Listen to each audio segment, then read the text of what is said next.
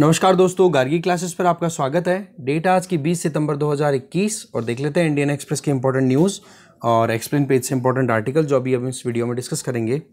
First जो news हम discuss करेंगे वो है फार्मर्स से रिलेटेड जिससे कि फार्मर्स एक स्कीम शुरू की जा रही है। गवर्नमेंट प्लान कर रही है ट्वेल्व डिजिट यूनिक आईडी देने के लिए हर एक फार्मर को, जिससे कि जो भी गवर्नमेंट के प्लान्स आएँगे ना, उनको वो ईजीली एक्सेस कर पाएँगे। इसको हम डिटेल में जानेंगे।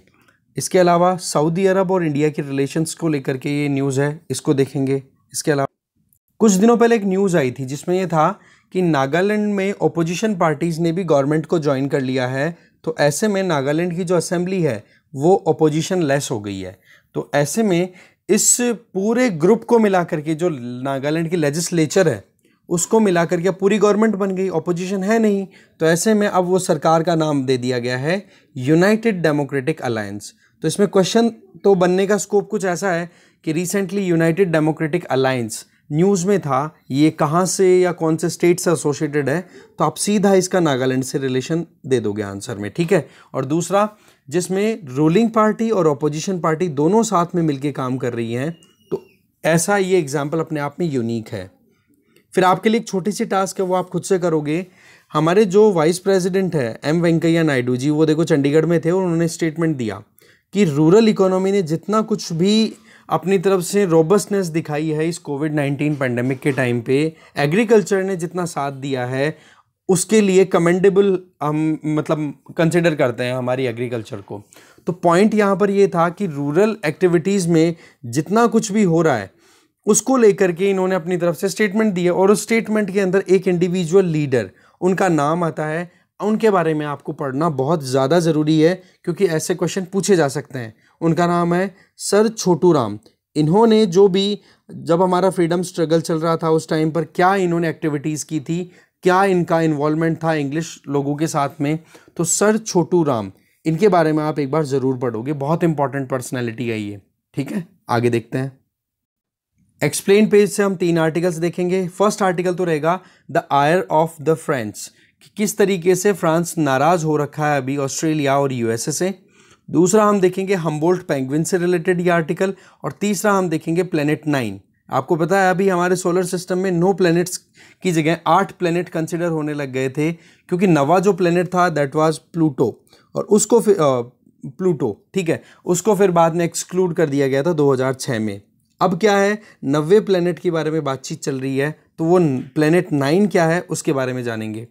इसके आगे बीच में छोटी सी समरी वर्ल्ड पेज की लेंगे और फिर इकोनॉमी पेज से कुछ इंपॉर्टेंट आर्टिकल्स हैं जिनमें हम देखेंगे। एक तो सी केबल टेंडर की बात हो रही है, लक्षद्वीप आइलैंड्स और कोची के बीच में। इसको मैपिंग के थ्रू हम करने की कोशिश करेंगे। इससे क्या होगा कि वहाँ पर कनेक्टिविटी ज़्यादा से ज़्यादा प्रोवाइड की जा सके इंटरनेट की ऑप्टिकल फाइबर कनेक्टिविटी के लिए। तो अभी जो मुद्दा है वो कुछ होल्ड पे है। क्योंकि वहाँ पर जो रिक्वायरमेंट अभी पुट की गई है ना, वो रिक्वायरमेंट्स पूरी करने के लिए इंटरनेशनली केवल तीन ही कंपनीज़ है जो वो काम करती है। तो उसको लेकर के मुद्दा है थोड़ा सा जानेंगे इसको। इसके आगे और बचा हुआ जो स्पोर्ट्स का पोर्शन है, उस पर भी नज़र एक बार डाल लेंगे, ठीक है? तो चलिए देखते हैं डिटेल में। फ़र्स्ट न्यूज़ है कि फार्मर्स को एक इजी एक्सेस प्रोवाइड करना, जो भी गवर्नमेंट के प्लान्स आ रहे हैं, उसके लिए एक twelve digit unique ID issue की जा रही है और डेटाबेस भी क्रिएट किया जा रहा है। ठीक है? इससे क्या होगा कि गवर्नमेंट स्कीम्स का फ़ायदा उठाने में उनको प्रॉब्लम नहीं आएगी और जो डिजिटल इकोसिस्टम है, उसके साथ में एग्रीकल्चर को भी इंटीग्रेट किया जा पाएगा। इसके लिए आप देखो एक मेमोरेंडम ऑफ़ अंडरस्टैंडिंग है, वो साइन हुआ है। टॉप प्राइवेट कंपनीज़ के साथ में जिनमें माइक्रोसॉफ्ट है अमेजोन है, जिससे कि technology based solution farm sector को प्रोवाइड किए जा सकें। ठीक है? तो इसमें क्या होगा कि एक ट्वेल्व डिजिट यूनिक आईडी जैसे हमारा आधार कार्ड होता है ना, उस तरीके से फार्मर्स का भी आधार कार्ड या एक आईडी इशू की जाएगी, जिससे कि वो गवर्नमेंट की अलग अलग स्कीम्स को seamlessly without any hurdle access कर पाएँगे। ये बात बोली गई विवेक अग्रवाल, जो कि एडिशनल सेक्रेटरी हैं agriculture and farmers welfare ministry में। ओके इसमें देखो, जैसे पीएम किसान स्कीम है। आपको पता है पीएम किसान स्कीम में छः हज़ार रुपये एनुअली देने की बात की गई है, जिसमें दो दो हज़ार रुपये पर मंथ के हिसाब से अकाउंट में ट्रांसफ़र होता है सीधा। ओके तो पीएम किसान स्कीम के बारे में आप डिटेल में एक बार पढ़ोगे। तो यूनिक आईडी बनाना अपने आप में बहुत ही ज़्यादा इंपॉर्टेंट है। तब जा करके डिजिटल इकोसिस्टम के साथ में एग्रीकल्चर को हम इंटीग्रेट कर पाएँगे और फार्मर्स को भी प्रॉब्लम नहीं आएगी अगर कोई भी स्कीम की वो एक्सेस करना चाहे तो। फ़िलहाल अगर देखा जाए तो 11 स्टेट्स के लिए डेटाबेस तैयार हो चुका है, जिनमें मध्य प्रदेश, उत्तर प्रदेश, राजस्थान, आंध्र प्रदेश, ये कुछ बड़े स्टेट्स हैं। इसके अलावा बचे हुए जो स्टेट्स हैं, जिनमें तेलंगाना, केरला, पंजाब, इनको भी अब जल्दी ही आने वाले महीनों में कवर कर लिया जाएगा। और टोटल टारगेट है लगभग आठ करोड़ किसानों के लिए ये आईडी क्रिएट करना। अब आप जानते हो पीएम किसान हो गई सॉइल हेल्थ कार्ड या फ़सल बीमा योजना है, प्रधानमंत्री फ़सल बीमा योजना, ये सारी फैसिलिटीज़ को लेने में किसान को बहुत प्रॉब्लम आती है। तो जैसे हम आधार कार्ड यूज़ करते हैं, उस तरीके से ये ट्वेल्व डिजिट की जो यूनिक आईडी होगी, इसको यूज़ कर सकेंगे फार्मर्स। इसके अलावा ये आईडी का जो लिंक होगा, वो जोग्राफिकल इंफॉर्मेशन सिस्टम के बेसिस पे अलग अलग फार्मर्स के जो फार्म्स हैं, खेत हैं, उनकी मैपिंग के साथ में भी इंटीग्रेशन हो पाएगा। इससे क्या होगा कि जो डुप्लीकेशन की प्रॉब्लम है ना, वो ख़त्म हो पाएगी राइट तो ऐसे में ये अपने आप में एक इनिशिएटिव है, बहुत ही अच्छा है। इसके आगे देखते हैं कुछ इंपॉर्टेंट चीज़ें और। इसके आगे नेक्स्ट न्यूज़ है इंडिया सऊदी अरब रिलेशन अभी आपको पता है, अफ़गानिस्तान की रियलिटी क्या है उसी दरमियान सऊदी अरब के फॉरेन मिनिस्टर हमारे foreign minister S Jaishankar ji से मीटिंग करने के लिए न्यू दिल्ली में अभी प्रेजेंट है। तो ये चीज़ अपने आप में एक, आपको एक सिग्नल शो करती है या इंपॉर्टेंस शो कर सक, क्यों करती है कि इंडिया और सऊदी अरब के रिलेशन किस हाइट पे अभी चल रहे हैं। तो सऊदी अरब के जो फॉरेन मिनिस्टर हैं, उनका नाम है prince Faisal bin Farhan Al Saud ठीक है? तो ये अभी बातचीत जो हो रही है, इसमें अभी आप एक चीज़ ज़रूर ध्यान रखना कि जो गल्फ़ कंट्रीज़ हैं, उनमें सबसे अच्छे रिलेशन इस टाइम पे एक स्ट्रॉन्गर पार्टनर के तौर पे इमर्ज होकर आ रहा है सऊदी अरब इंडिया के लिए।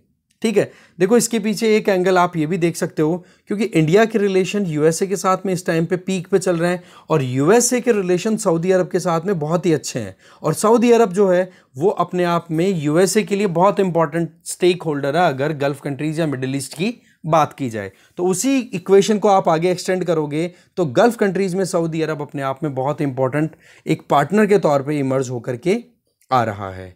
इसके आगे अगर देखें जो स्टेटमेंट्स रिलीज़ हुए हैं, वो कुछ ऐसे हैं कि जिसमें पाकिस्तान, ईरान और चाइना, रशिया के बीच में जो अभी कन्वर्जेंस देखने को मिल रही है ना, अब ईरान का नाम आ गया तो आप देख ही सकते हो कि यहाँ पर सऊदी अरब के कान खड़े हैं, बिल्कुल अलर्ट है ओके और दूसरी तरफ़ पाकिस्तान है, वो चाइना के साथ कनेक्ट और चाइना और रशिया के रिलेशन अभी आपको पता है टॉप लेवल के ऐसे केस में इनके बीच में कन्वर्जेंस और साथ में फिर सऊदी अरब और यूएसए जैसे कंट्रीज़ जो लाइक माइंडेड कंट्रीज़ है, जो कॉमन चीज़ों के ऊपर अभी कन्वर्जेंस देखने को मिल रही है।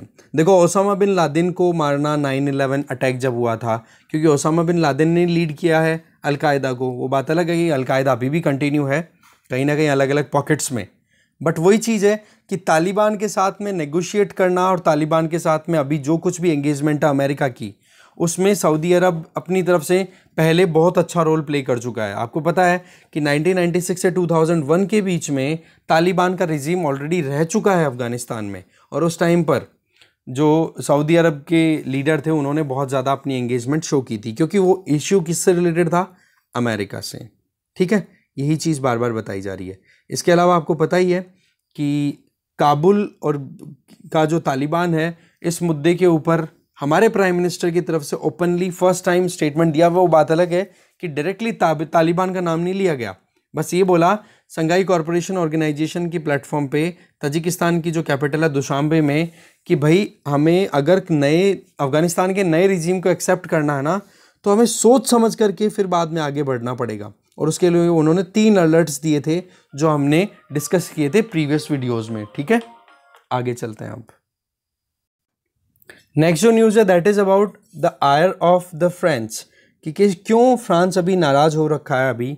तो उसके पीछे देखो, मुद्दा तो आपको पता है ही कि यूएस यूके और ऑस्ट्रेलिया के बीच में एक ट्राईलेटरल एग्रीमेंट साइन हुआ है, जिसमें कि ऑस्ट्रेलिया ने अभी उसी के पॉइंट पे आकर के ऑस्ट्रेलिया ने यूएसए के साथ में आठ न्यूक्लियर सबमरीन्स के लिए एग्रीमेंट साइन किया है।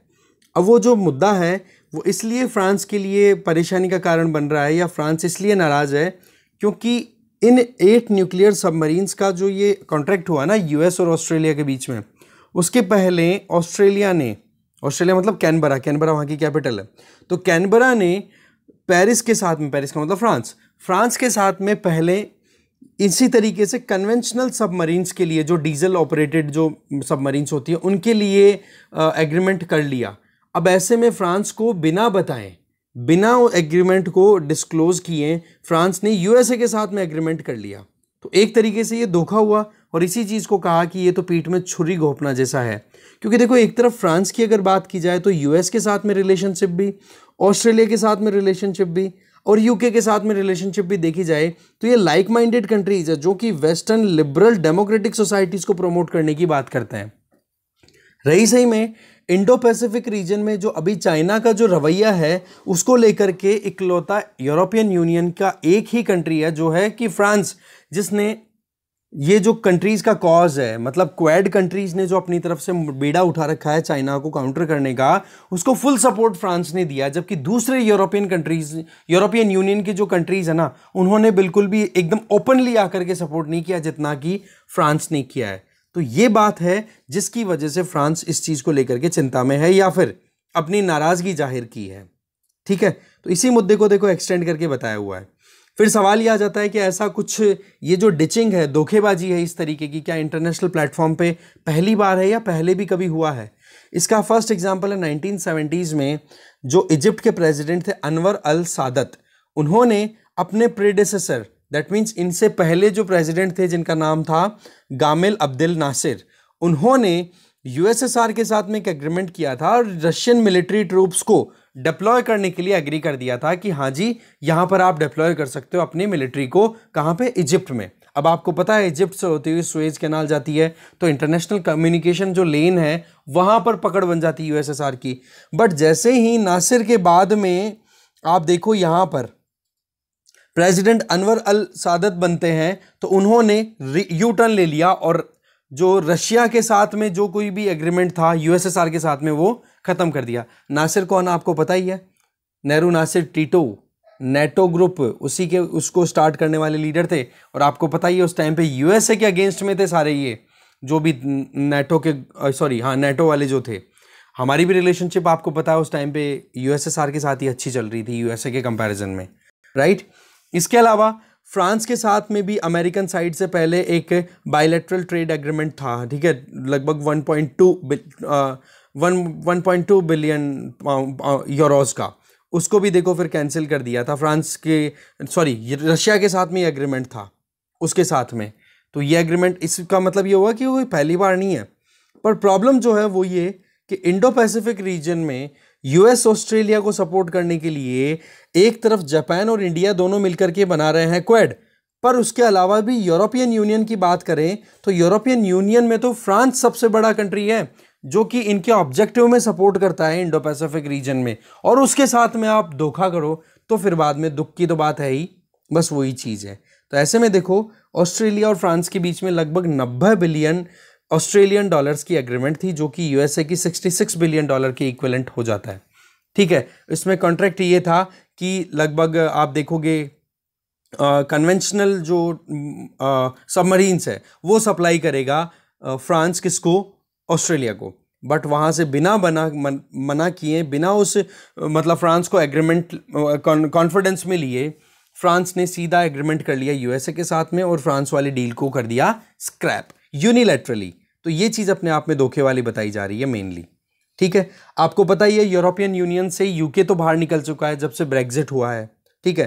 तो अब यूरोपियन यूनियन में फ्रांस के अलावा जितने भी दूसरे कंट्रीज़ है ना, वो अभी इतना जल्दी नहीं चाहते हैं कि खुद की जो मिलिट्री सिस्टम है उसको इम्प्रूव करें, क्योंकि उनका ये मानना है, जो भी यूरोपियन यूनियन के दूसरे कंट्रीज़ हैं, उनका ये मानना है कि बहुत सारे इश्यूज़ हैं जिनको अगर हम हैंडल कर लें, बजाय इसके कि मिलिट्री या फिर सिक्योरिटी इश्यूज़ के ऊपर पैसा खर्च करें तो इससे कोई फ़ायदा नहीं है। बोले, अमेरिका हमें दे तो रही है ना सिक्योरिटी।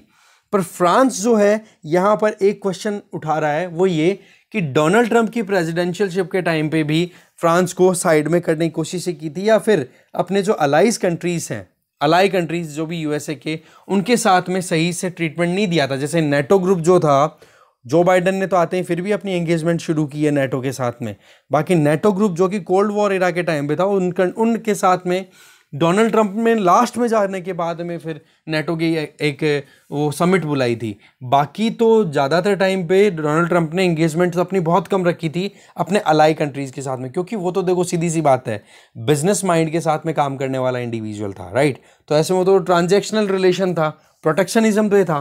पर जो बाइडन भी इसी तरीके से कंटिन्यू करते हैं तो थोड़ा सा परेशानी है। फिर देखो इंडिया के एंगल की बात की जा रही है। देखो क्वेड में, हमें पता है, चार कंट्रीज़ हैं तो उसमें ऑस्ट्रेलिया और यूएस दोनों साथ में हैं। अब यहाँ पर फ्रांस के साथ में भी रिलेशन आप देखो इंडिया के तो बहुत कॉर्डाइल चल रहे हैं। टॉप क्लास के, और ट्रस्ट की अगर बात करें तो इंडिया वेस्टर्न कंट्रीज़ में केवल एक ऐसा कंट्री फ्रांस ही है, जिसके ऊपर पूरा कॉन्फिडेंस लगा सकता है। वजह कि जब हमने 1998 में न्यूक्लियर टेस्ट किया था ना, पोखरण टू, उसके टाइम पे वेस्टर्न कंट्रीज़ ने बहुतों ने सैंक्शन लगाए थे इंडिया के ऊपर, पर फ्रांस ने नहीं लगाया था। ये अपने आप में बहुत बड़ा एग्ज़ाम्पल है। और आज भी बड़े बड़े प्रोजेक्ट चाहे प्रोजेक्ट 75 की बात कर लो ये न्यूक्लियर सबमरीन से रिलेटेड प्रोजेक्ट है। तो उनमें भी फ्रांस पूरा कंट्रीब्यूट कर रहा है। फ्रेंच कंपनीज़ का बहुत ज़्यादा कंट्रीब्यूशन है और इंडिया का कॉन्फिडेंस भी वहीं से है। तो ऐसे में देखो, इंडिया के लिए टेंशन तो बन गई है। टेंशन को मतलब थोड़ी बहुत तो एडवर्स सिचुएशन है, जिसमें फ्रांस और एक तरफ़ होगा और बाकी ऑस्ट्रेलिया यूएस और यूके ये एक तरफ़ आ गए, एक ट्राइलेटरल ग्रुप बना करके। तो इनके बीच में जब भी मौका मिलेगा तो इंडिया उस मौके को ज़रूर बनाएगा कि इनको साथ में बिठाया जाए। क्योंकि जब चाइना का मुद्दा आता है ना तो उस टाइम पे क्वेड कंट्रीज़ के साथ में ब्रिटेन और फ्रांस को ऐड और कर दो, इनके इंटरेस्ट है ना कन्वर्ज हो जाते हैं, एक जैसे हो जाते हैं। तो आगे क्या है? देखो ऑब्जेक्टिव्स जो है फ्रांस के, वो उसमें डाउट नहीं है। क्योंकि लॉन्ग टर्म में अगर देखा जाए तो फ्रांस बिल्कुल भी ऐसा नहीं देखेगा कि हाँ जी यूएसए ने हमारे साथ में इस तरीके की बात किया ऑस्ट्रेलिया ने इस तरीके से हमारे साथ बिहेव किया तो हम चाइना के साथ एंगेज करना शुरू कर देंगे एक्सक्लूसिवली ऐसा नहीं होगा। पर हाँ फ्रांस इस चीज़ को लेकर के नाराज़ है तो इंडिया के पास में ऑप्शन है कि अगर मौका मिले ना तो ज़रूर इनके बीच में बैठा करके बातचीत करवा दे। ओके? क्योंकि बात यहाँ पर है प्राइड की, बात है बिट्रेयल की, धोखे की और खुद के गर्व की। वो अगर कहीं पे डिच हो जाता है तो देखो मुश्किलें हमेशा रहती है ही। तो ये है पूरा मुद्दा। सी राजा मोहन जी का इंटरव्यू था ये। आगे चलते हैं। नेक्स्ट जो आर्टिकल है that is about Humboldt penguin देखो, मुंबई में जो बाइक्यूला जू है ना वहाँ पर दो चिक का जन्म हुआ है हम्बोल्ट जो पेंगुइन है उनका।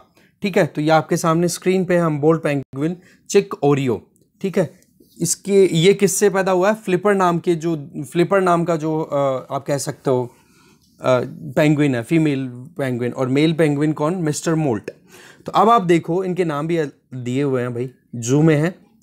अब पेंगुइन की स्पीसीज के बारे में हम देखें। तो एक तो देखो क्रेस्टेड ग्रुप होता है। इसमें कौन कौन सी स्पीसीज आती हैं? जिसमें एक तो मैकेरोनी रॉयल फियोर्डलैंड ऐसे ही रॉक हॉपर और स्नेट्स क्रेस्टेड और इरेक्ट क्रेस्टेड ये स्पीसीज आ जाती हैं इस जीनस के अंडर में। इसके अलावा बैंडेड ग्रुप की बात करो तो हम्बोल्ट जो है ना, जहाँ पर जिस, जो हम इस आर्टिकल की बात करें, वो इस बैंडेड ग्रुप का ही है, जो कि हम्बोल्ट भी आ जाता है इसी ग्रुप में, मेगेलेनिक भी आता है अफ्रीकन भी आता है और गैलापेगोस भी आता है। गैलापेगोस आइलैंड्स हैं, ये पढ़ते हैं। अगर आप साउथ अमेरिका का मैप देखोगे ना कभी तो उसमें आपको यूँ फील होगा इस तरीके से। और यहाँ पे इक्वेडोर है, ठीक है इक्वेडोर इक्वेडोर क्या सॉरी पेरू और ये कोस्टल चिली, ये कंट्रीज़ हैं। तो ऑफ़ कोस्ट है पेरू से। ठीक है गैलापैगोज वहाँ के पेंगुइन्स इसके अलावा ब्रश टेल्ड ग्रुप इस वाले ग्रुप के अंदर चिन स्ट्रैप गेंटो और एडली। ये करके अलग अलग स्पीसी आ जाती हैं इसकी पेंगुइन की। ऐसे लार्जर ग्रुप की बात करें तो एम्पर और किंग ये दो आ जाते हैं इसमें। और येलो आइड की बात करें तो येलो आइड ही आ गया और लिटिल की बात करें तो लिटिल ही आ गया, या फिर इसको फेरी भी बोला जाता है। तो ओवरऑल ये होगी पेंगुइन की स्पीसीज जेनस के बेसिस पे। पेंगुइन को छः जेनराज में डिवाइड किया, जो हमने यहाँ पे ऑलरेडी देख लिया है। और उनमें से ये जो हम्बोल्ट है, ये बैंडेड वाले में हमने देख ही लिया यहाँ पे, यही बताया हुआ है। अच्छा ये हम्बोल्ट नाम कहाँ से मिला? देखो, चिली और पेरू। अगर मैं फिर से साउथ अमेरिकन मैप आपको ड्रॉ करके अगर बताऊँ तो आप यहाँ पर देखोगे इस तरीके से। तो इस वाले एरिया में अगर देखोगे तो पेरू लोकेटेड है। यहाँ पे आप देखोगे तो लॉन्ग स्ट्रेच में चिली है। अब यहाँ पर आप देख पाओगे चिली और पेरू। और यहाँ से नीचे की तरफ़ से आती है कोल्ड वाटर करंट जिसको बोला जाता है हमबोल्ट करंट या पेरूवियन करंट और इसके इफ़ेक्ट की वजह से यहाँ पर अपवेलिंग होती है मतलब पानी ऊपर की तरफ़ ही रोटेट होता है, नीचे से ठंडा उठ करके राइट तो इस तरीके की जो कंडीशन होती है ना, वहाँ पर ये पेंगुइन्स हैं, वो प्रिवेल करते हैं, वो रहते हैं। इसलिए इनका नाम हम्बोल्ट पेंगुइन रख दिया गया है। वो बात अलग है कि ये हम्बोल्ट पेंगुइन की जो स्पीसी है, वो नॉर्दर्न पैसिफिक ओशन में भी मिलता है, ठीक है? तो ऐसे में जो मुंबई में ये जो बैक्यूला, ये जो हम देख रहे हैं, जू में ये पेंगुइन्स लाए कहाँ से थे? सियोल, साउथ कोरिया से 2016 में। तो ये कुछ इंपॉर्टेंट चीज़ें थी, वो हमें जाननी थी, वो देखी। और आप एक बार खुद से आपके सामने यहाँ पर है, नज़र डाल सकते हैं।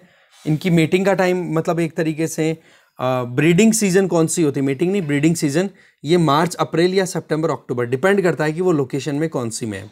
मार्च, अप्रैल की अगर बात करो तो हमारे ऊपर, हमारे क्या है मार्च, अप्रैल में, नॉर्दर्न हेमिसफेयर में, आपको पता ही है हमारे यहाँ पर रहती है ठंड। ठीक है सेम चीज़ आप सितंबर, अक्टूबर की बात करो तो सदर्न रीजन के अंदर वही मार्च, अप्रैल वाली सी सिचुएशन रहती है सदर्न हेमिसफेयर में। तो सदर्न हेमिसफेयर में ठंड इस टाइम पे, सितंबर, अक्टूबर के टाइम पे, जैसे अभी आप फील कर रहे हो, इस टाइम पे सदर्न हेमिसफेयर में अच्छी खासी ठंड पड़ रही है। जबकि नॉर्दर्न हेमिसफेयर में हम थोड़ी सी हीट महसूस कर रहे हैं। और रही से में अक्टूबर हीट और आने वाली है, क्योंकि मानसून जब रिट्रीट करता है तो उसके बाद में अक्टूबर हीट लास्ट में थोड़ी गर्मी मिलना शुरू होती है, फिर ठंड हमारी शुरू होती है नवंबर में आके राइट तो ये सिचुएशन अभी प्रिवेल कर रही है। तो ऐसे में ये हम्बोल्ट पेंगुइन के बेसिस पे कुछ चीज़ें हमें जाननी थी, वो देखी, आगे चलते हैं। फिर देखो नेक्स्ट आर्टिकल है दैट इज़ प्लेनेट नाइन से रिलेटेड अब इसमें बात ये चल रही है कि क्या वाकई में ऐसा है क्या? देखो, अगर यहाँ पर हम देखें तो 2016 में एक पेपर में पेपर रिलीज़ होता है और उसमें ये बताया जाता है एस्ट्रोनॉमिकल जर्नल में ये बताया जाता है कि हमारे सोलर सिस्टम में आउटर मोस्ट प्लेनेट जो है, वो अभी नया है जिसको हम डिस्कवर करने की कोशिश कर रहे हैं और उसको नाम दिया जा रहा है प्लेनेट नाइन ठीक है? जो कि नेपच्यून से भी बाहर की ओर में घूम रहा है।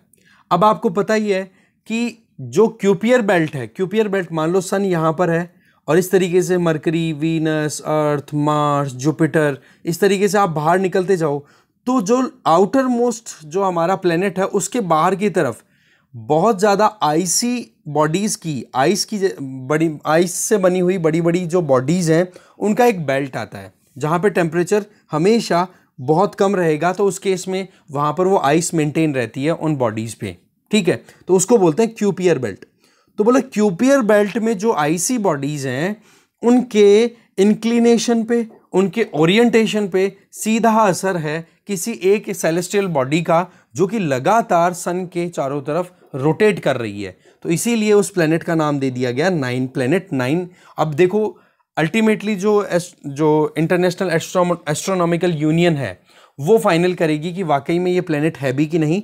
फ़िलहाल पेपर पब्लिश हुआ है राइट तो ऐसे में देखो, जो नाइन्थ प्लेनेट है हमारे सिस्टम का, उसके बारे में प्रोडिक्शंस हैं। पहले देखो प्लूटो हुआ करता था, पर प्लूटो को ड्वार्फ डिक्लेयर कर दिया गया था 2006 में। अब क्यों डिक्लेयर किया था? आप प्लीज़ कमेंट बॉक्स में बताओ। वजह क्यों? क्योंकि एक जो प्लेनेट है ना अच्छा कहाँ से पढ़ोगे? ये बता देता हूँ मैं, पढ़ा आप खुद से लेना। ये जो अपने, आपकी फंडामेंटल प्रिंसिपल ऑफ़ ज्योग्राफी है ना फ़िज़िकल ज्योग्राफी वाली इलेवेंथ की जो फ़र्स्ट बुक है, उस बुक के अंदर सेकेंड चैप्टर ही है। उसमें बताया हुआ है कि प्लूटो को क्यों आउट किया गया है। और नहीं पता पड़ रहा है तो आप एक बार गूगल ज़रूर करना, क्योंकि ड्वार्फ प्लेनेट उसको डिक्लेयर कर दिया गया। ठीक है? तो ऐसे में नेपच्यून के बाहर नेपच्यून की जो ऑर्बिट है, उससे बाहर कोई एक ऐसे सेलेस्टियल बॉडी है जो लगातार रोटेट कर रही है सन के चारों तरफ़ राइट तो उसको प्लेनेट नाइन के नाम से डिक्लेयर किया हुआ है। अब एविडेंसेस की बात करें तो कुछ ऐसा है कि आउटस्कर्ट में जो क्यूपियर बेल्ट है, वहाँ पे जो ऑब्जेक्ट्स हैं, उनके ऊपर उसका असर देखने को मिल रहा है। तो बोले, इतनी बड़ी और साइज़ भी आप देखोगे कि अर्थ का जितना मास है, उससे लगभग साढ़े छः गुना ज़्यादा साइज़ है इस प्लेनेट की। ठीक है? प्लेनेट तो क्या है? इस बॉडी की। प्लेनेट तो जब डिक्लेयर फाइनल हो जाएगा, तब होगा। अभी तो केवल पेपर्स में रिसर्च आ रही है। फिर फाइनल होगा, तभी हम इस चीज़ को कंसिडर करेंगे। राइट तो न्यू फाइंडिंग्स जो थी, वो देख ही ली हमने। ये कुछ यहाँ पे वही चीज़ें बताई जा रही है। कौन कौन से पेपर में कब क्या पब्लिश हुआ था थीम हमने देख ही ली है। और इस प्लेनेट के साइज़ के बारे में मैं आपको बता ही चुका हूँ हाँ।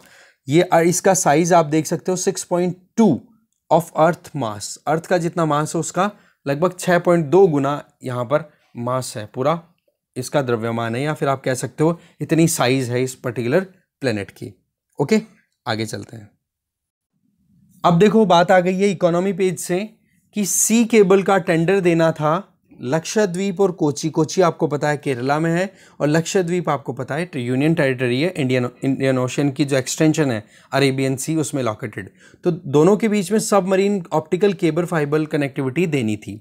तो ऐसे में जो एक तो टेमा टेमा का फुल फॉर्म यहाँ पर आप देख सकते हो, जो telecom equipment manufacturing association of India और बीएसएनएल भारत संचार निगम लिमिटेड दोनों बिडिंग में थे और उन्होंने जो कंडीशन रखी है ना, कि जो टेक्नोलॉजी की रिक्वायरमेंट है, किसके बीच में? कोची और लक्षद्वीप के बीच में जो सबमरीन ऑप्टिकल फाइबर को लगाना है, उसके लिए तो बोले उसमें एक रिपीटर बेस्ड टेक्नोलॉजी यूज़ करनी है। अब ये जो रिपीटर बेस्ड टेक्नोलॉजी है ना, इसको केवल और केवल इंटरनेशनली तीन कंपनीज़ ही डेवलप करती हैं। तो ऐसे में जो बिड है, एक बार उसको होल्ड पे रख दिया है, कि आगे कौन इस पर काम करेगा।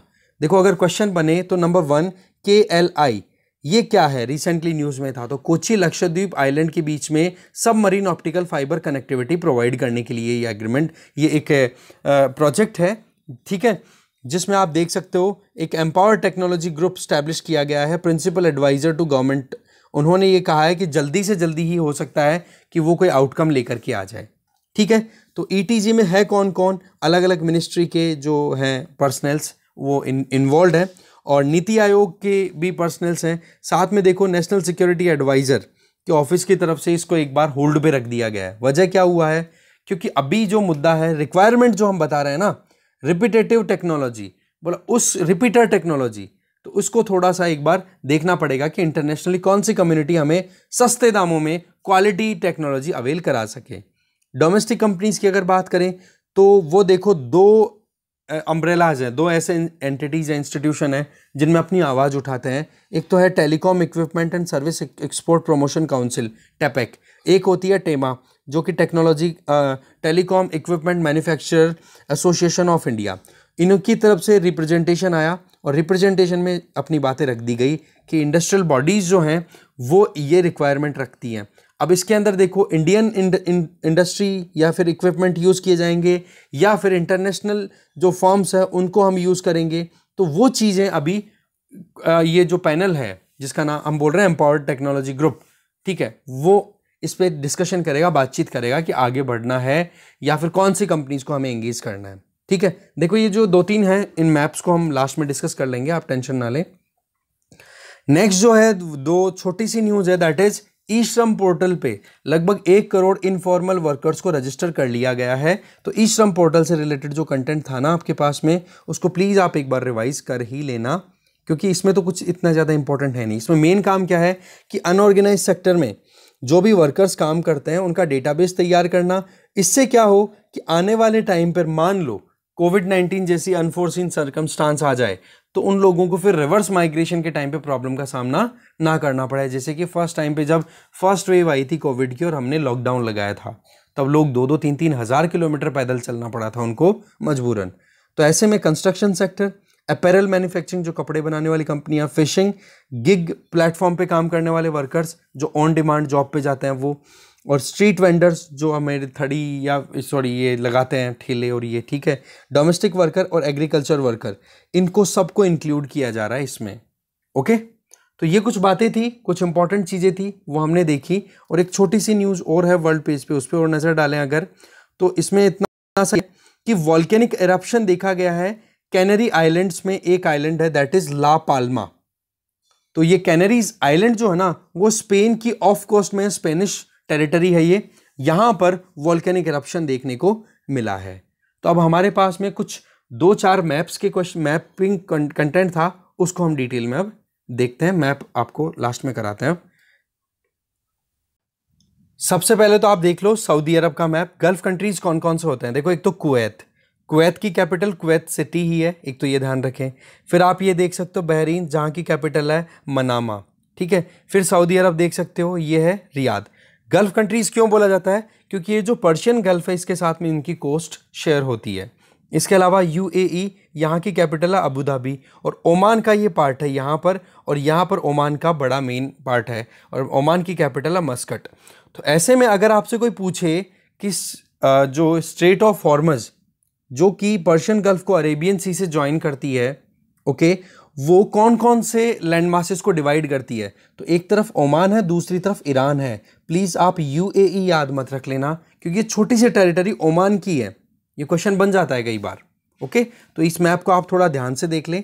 तो ये तो हो गया गल्फ कंट्रीज़ और इससे थोड़ा अगर इधर आगे की तरफ़ जाओगे ना, तब ये अरेबियन सी आ गया और फिर इधर इंडिया आ जाएगा।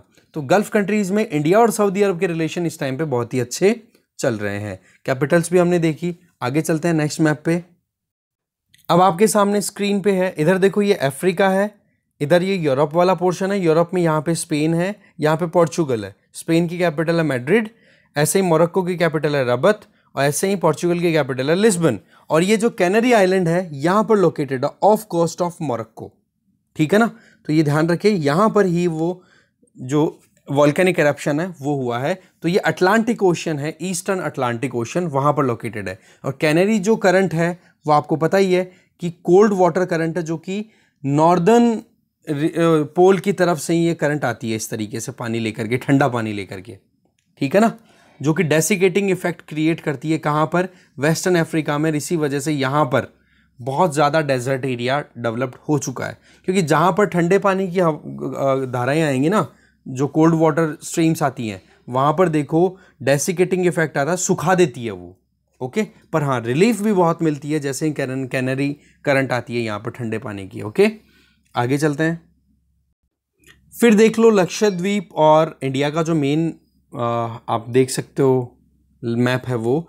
तो यहाँ से कोची से लेकर के और लक्षद्वीप के बीच में ये ऑप्टिकल फाइबर केबल पुट करने की बात की जा रही है मरीन ऑप्टिकल फाइबर ओके? तो इसको आप ध्यान से देख लो कौन कौन सी लोकेशन से बड़ी काम की है। ठीक है? आगे चलते हैं। और गैलापेगोज आइलैंड की बात भी हमने की थी पेंगुइन की जब बात आई थी तो इक्वेडोर की टेरिटरी है, ठीक है? तो यहाँ पर आप देख सकते हो कोलंबिया वेनेजुएला ब्राज़ील इधर आ गया।